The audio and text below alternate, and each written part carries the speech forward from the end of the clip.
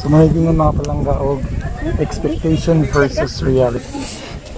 Pero kala dyan siya tao. Maybe because kalami ka siya pagkaon diri. And that's and umunya mo sa sa mo i-check diri mga palangga. Ang. So usa ni sa famous nga lugar nga ni Andre. So but I think na mga food kilami, no? Looks delicious ng food. No, daghan po kasi tao. Look.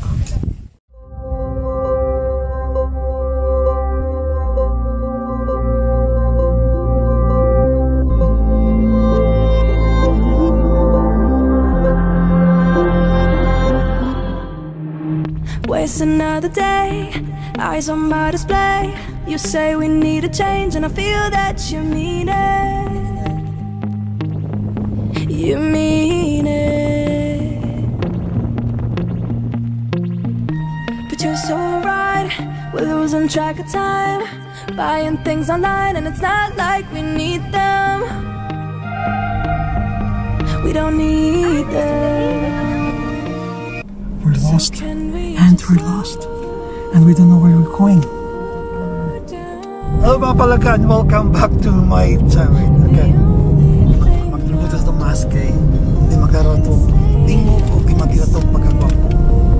So 5, 4, 3, 2, 1 Hello mga palangga and welcome back to my channel. So for those who don't know yet, this is your one and palangga. It's me Rocky and guess what? We're going to somewhere. We're going to Pabukid Takaron. Since GCQ naman, pwede naman ta makalaag. So gilaag mi sa akong pinalanggang Guadamarino!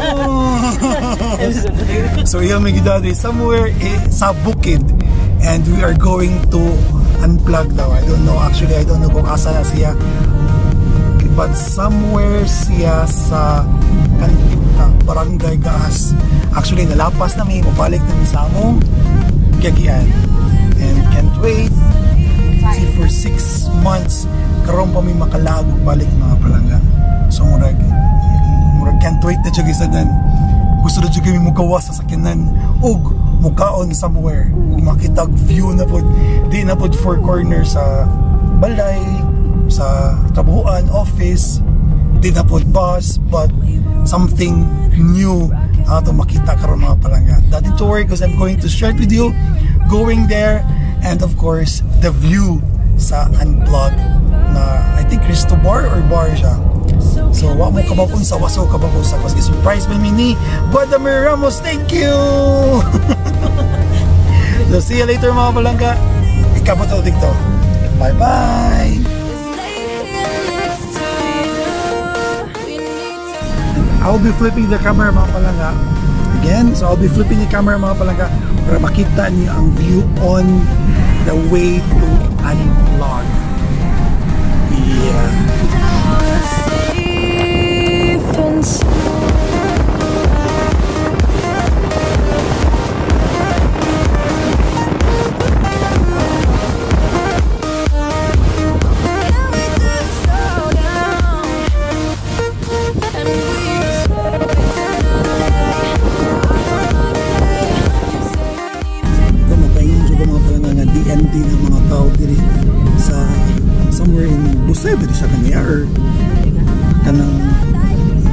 Somewhere in Balamban they're going to Balamban. Kung sa mga tao din no kay murag kanang um, back to normal I think makaingon back to normal kay like ang mga tao nga nasa ubos karon napos babaw. Nandagan mga sakyanan diri nandagan mga motor. Mga tanang klase siguro sa mga vehicle nga niya. Sakyanan four wheels two wheels mga mga bikers mga riders o guban pang mga durs dira na nagyud diri daghan kay naglaag diri feel na kami na siguro wahi siguro kami na last person siguro naglaag lugar ra right right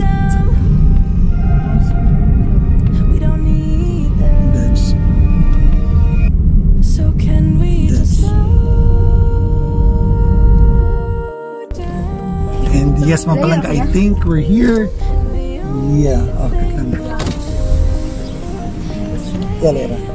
And we're here mga palangga for for bigo ko pila ka minutes. Tapos nagni balik kami sa mga ginawa kinalapas kami Kasi nagto sa picture mo gud mga palangga, dako kay siya lugar. But pagagian na mo siya, gamay ra siya kay nga place. Mura na siya a little restaurant. Mga little restaurant ra sa mga palangga. Niya medyo daghan siya tao na to karon. Amo siya i-check kung okay na ba siya, kung dili gani. Then we'll move to another place. So of course, mag-practice gyapon ta social distancing. Daghang igtawo ko mga palangga. So let's see ba kasi. So we're going down. Ano hindi mo Christmas? Ayun. Pwede na kay wala man diri. Shield on. Taga Cebu na sa ano. So let's go! Po. Ano po mga talaga? Of course, may water. Iyay ka. Whew. For the longest time, we are out!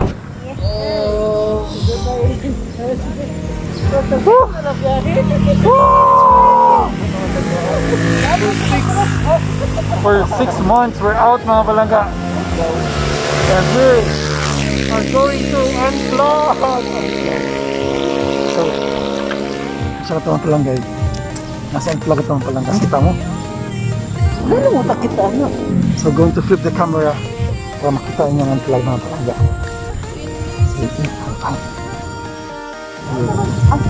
So that's unplug. There you go. Unplug. Is there. And we're going there. We're going to check. We're going to check what's inside. Mga palangga. See? Hindi siya nagbingo ang ano.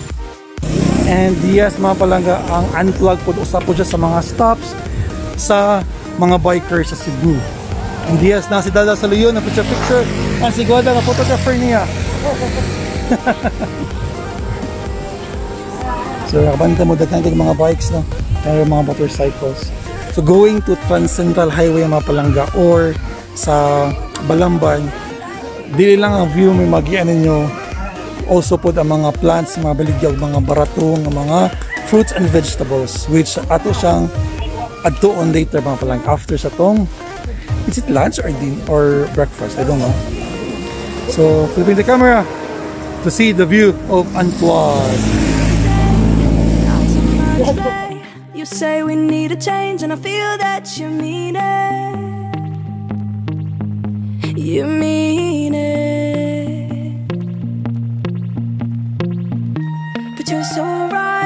We're losing track of time.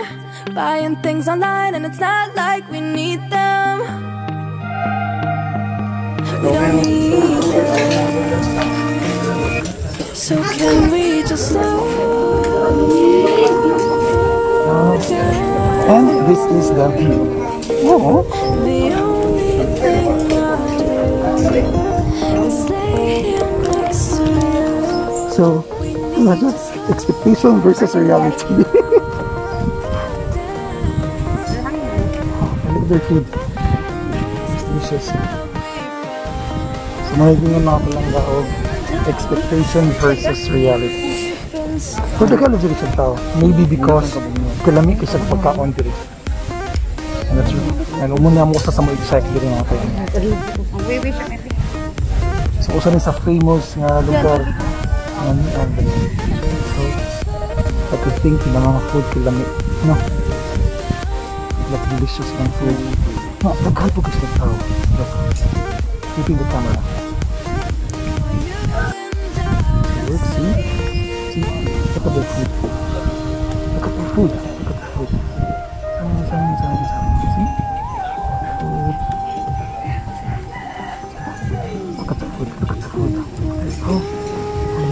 It's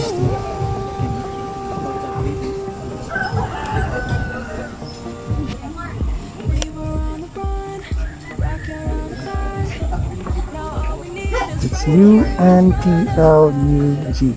It's unplugged. So can And yes, muna siya unplug mga palangga. So, I don't know if you're happy. If you're happy, please comment number one. If you're not, then please comment number two.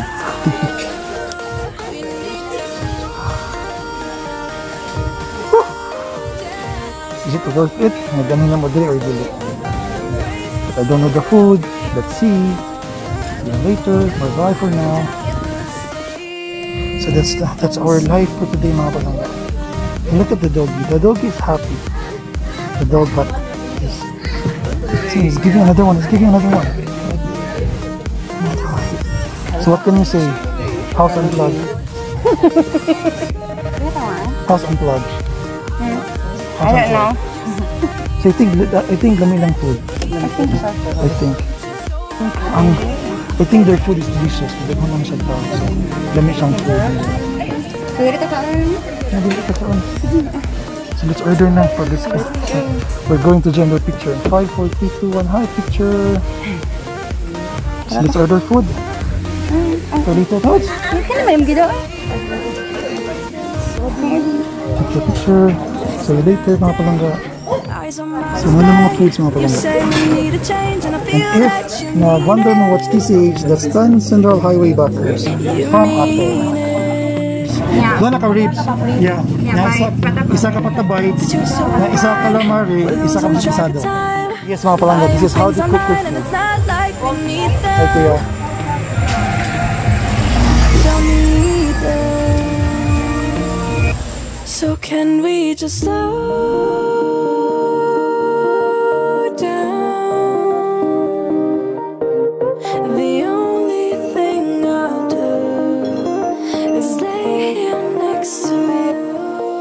We're eating na mga palangga. So I have my back ribs.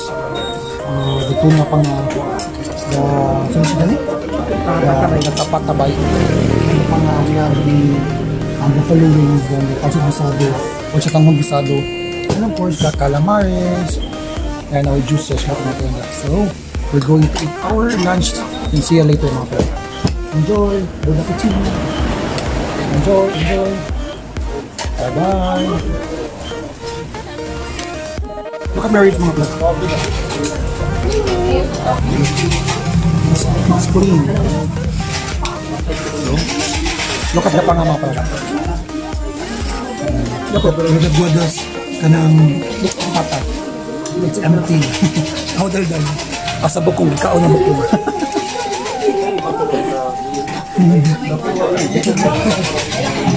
it's, miso. So, I think it's worth it. Although, later mga pala. So, it's good. Food is good. But, for me, di ka kay siya, ina, siya ka-tasty lang. You know, I think. Um, yun lang siya ikong kuwang expect ko sa expect ko sa buffalo wings na spicy but not that spicy. Na siya kuwang na pinita but okay ra siya but na nag-expect na something delicious sa pagkain or something different sa pagkain. But everything is everything is We're done eating our lunch and we're on our way to Strawberry Farm. So doon siya wo- or walking distance lang ang ang Strawberry Farm sa Anipwag mga palangga. So we're going there and to see what we can see, but to see. And flipping the camera. Bye bye for now. There you go. Oh, so pink. Strawberry Snack House. Right? So they're also practicing the COVID guidelines. No face mask, no entry. There you go, go, and there. Oh, they have is- isopropyl alcohol. Look, fun facts about strawberries. Healthy five health benefits of eating strawberries. And here. Oh, they have the strawberry foods. So they have they have a lot of foods with strawberry.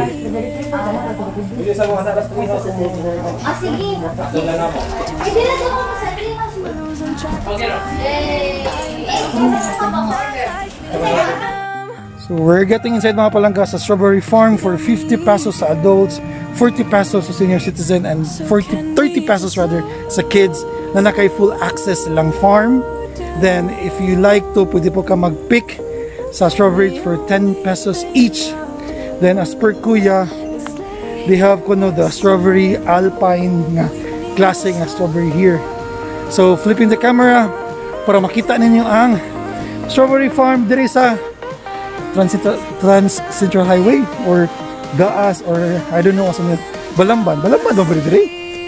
Actually, sorry, di ko familiar sa place. There you go. So, flipping the camera para makita ninyo, ma-experience niyo. Kung gusto ako nakita, yan mga palangga. Pasha!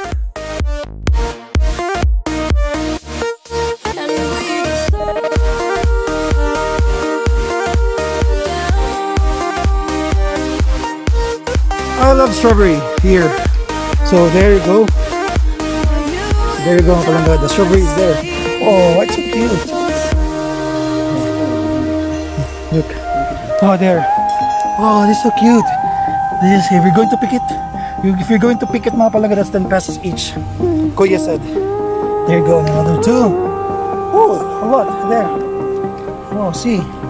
Oh, that's so nice. Can I touch? There you go.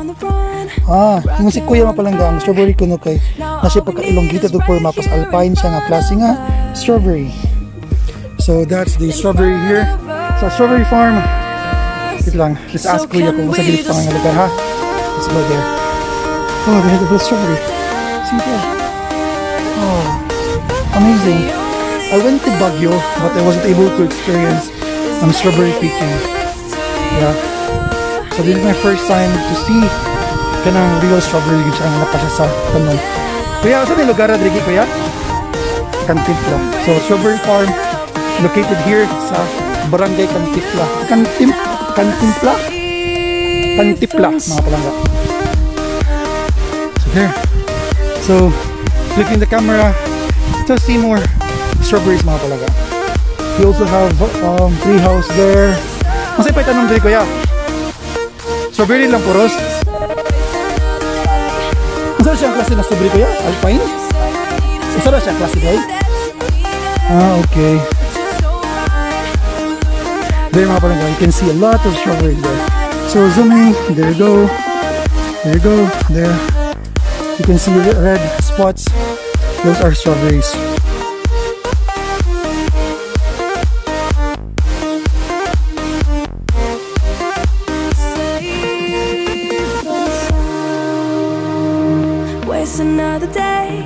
Eyes on my display. You say we need a change, and I feel that you mean it. You mean it. But you're so right, we're losing track of time. Buying things online, and it's not like we need them. Yes mga palangga, so I have my strawberry already. So I pick it mga palangga. So I've never tasted fresh strawberry. I've tried but jam. So let's try this one. I hope it's pwede na makaon. It's it's, it's humok so it's kanang um, it's humok, it's soft. So I think it's panang it's ready to eat. Like it's ripe na. Do mga langga, look at my strawberry mga langga. Like I accidentally squeeze it. Then it's plakak already. Smells good. Smells like strawberry. So I'm right. It's really really ripe na good. Because soft naman siya. There you go. See? So let me just throw this one. Para matubo siya. So yeah. So look. What's this? Look, it's so cute. It's a flower. So flipping the camera to see more view here.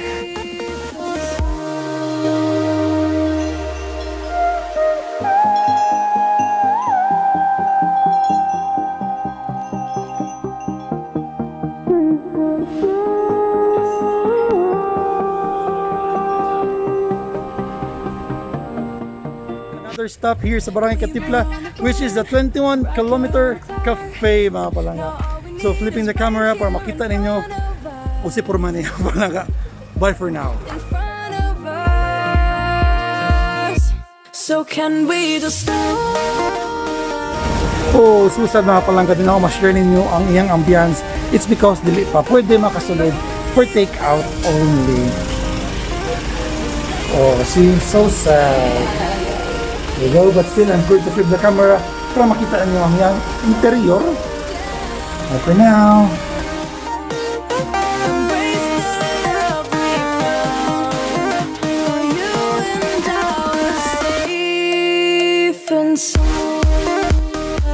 So, so sad mga palangga. So, muna yung vlog. Better luck next time. So, next stop, going to somewhere. But for now, last stop na to mga palangga is to buy vegetables and fruits or kung sa makita na to mga palangga. So, muna tong suy-suy dili sa kabukiran.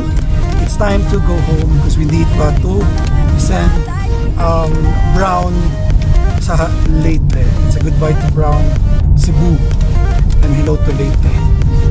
So looking for um, store or kang kilid-kilid na daghang tag mapalit na vegetable or fruit. Here's the last stop which is the vegetable and fruit buying.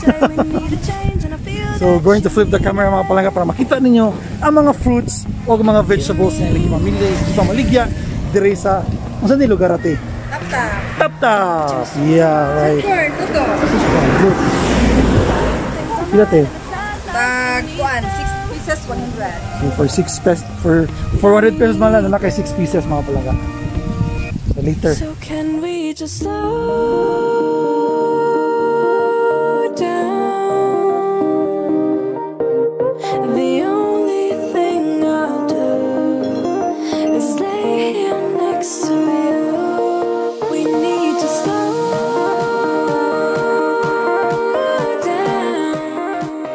So yes mga palangga, so we have pit size family. So this is the green boy pit size. Pilang kilo? 70 per kilo. Then we have here the Chinese pit size for? Same same 70 gapon. Then the native pichay pila? 40 per kilo mga palangga. May tomato wow ko kung kamatis mga palangga. This is for how much? 50 per 50 pesos per kilo. Then they have eggplant for um 100 70 per kilo. Then they have squash which is palit ko o sa kabuok pili ko miga pila per kilo 25 for 25 pesos per kilo mga palangga mapalita kanang mo last for mga one week o ha Ano bago Okay. Then they have the lobate, they have the kangkong, they have the onion, of course. Then radish, they have radish. Look, radish, diba? Kila per kilo? 25 per kilo mga palangka, radish. Then they have sweet potato, they have sweet corn, then the squash, uh, bitter gourd for 80 pesos per kilo. Right? Then how about kani? 100. Then carrots for 100 per kilo. Kani, Kani White onion. 25. It's 25 per kilo sayutes. White onion. 100. What onions for 100 pesos per kilo lang Japon. Then the garlic is 120 pesos per kilo mga palangga. 140 siya.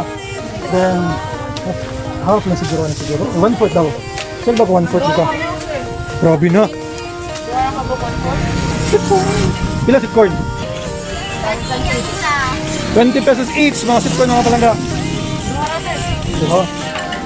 So we're buying a lot of vegetables mga palangga. Was daldal ng ngita og TikTok. Spray time.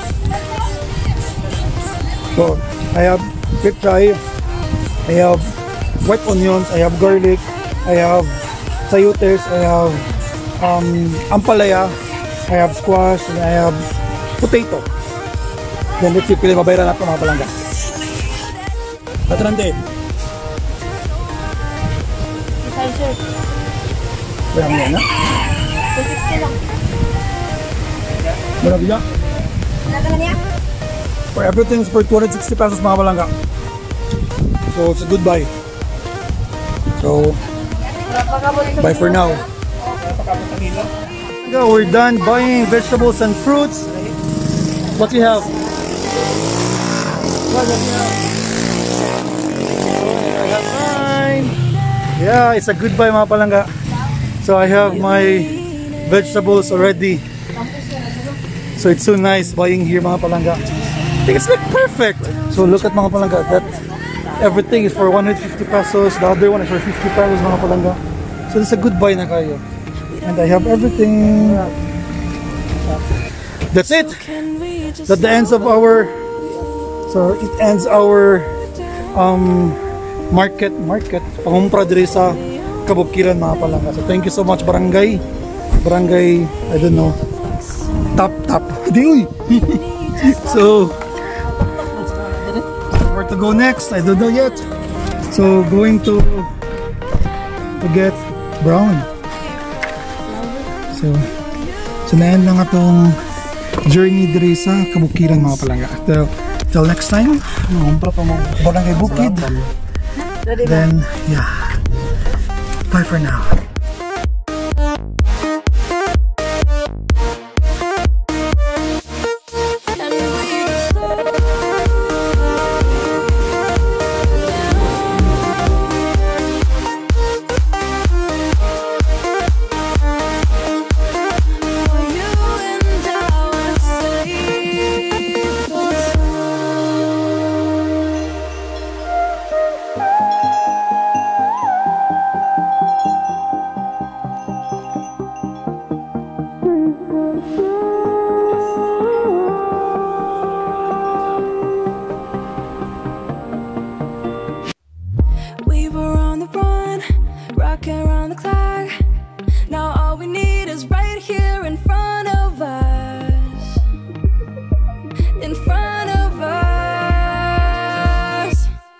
Can we just slow?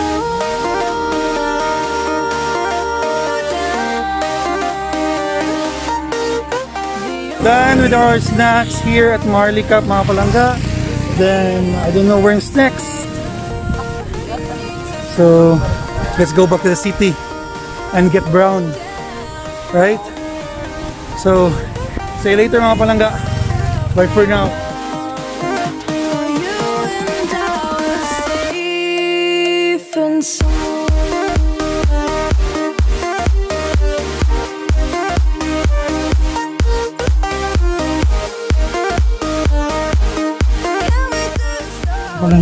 Brown already.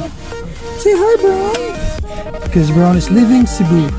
And he's going to Leyte na. Goodbye Brown. So sorry. So sorry. Oh. Oh, Brown is crying. So we're going na to Seaport. Kasi padala na naman si Brown sa Leyte. So sorry Brown. So sorry. So, higtan na yun siya dito. So sorry. Oh, dili sa ikit. Oh, so, see you later mga palangay. Kabot na to sa seaport or sa pier. Friend will say, friend will goodbye to Brown Brown. Bye bye. Bye bye boy.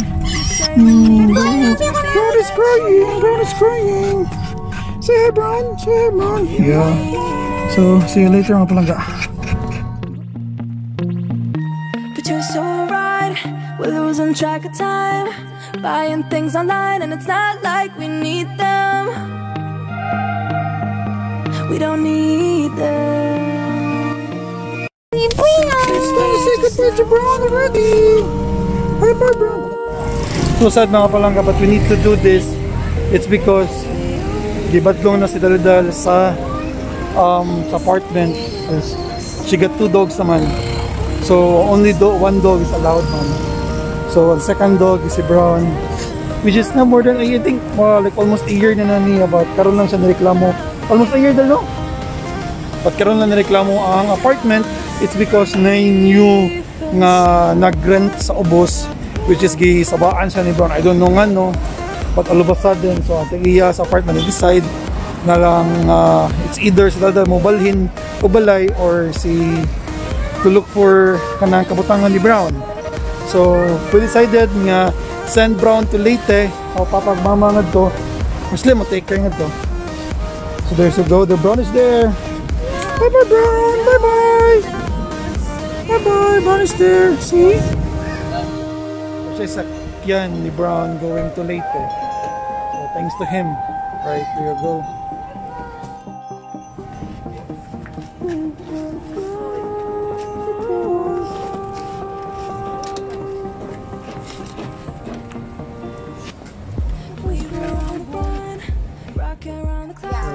Goodbye to Brown Brown. Bye bye. Bye bye Brown. Brown Brown. Bye bye. Bye bye. Bye bye Brown. Bye bye. Thank you. Yeah. So yeah, Goodbye, Brown. bye bye.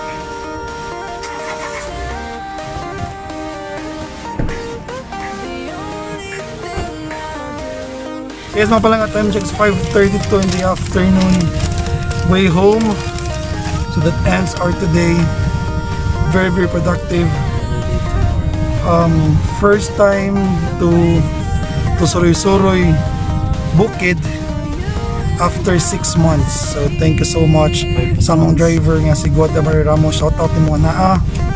Um, yeah. It was a very, very, very productive day for me. Kada nga kami na doon. Nothing to worry. So, uh, till next time mga palangga. So, again, beach na po. Puhon, puhon, puhon, puhon, puhon. Mga solid tag beach mga palangga. Nothing to. Because, of course, going to share it with you. So again, be safe, keep safe, and be healthy always. Then, this is your, again, this is your Ronald Palanga. It's me, Rocky, saying goodbye. Till next time. Bye-bye.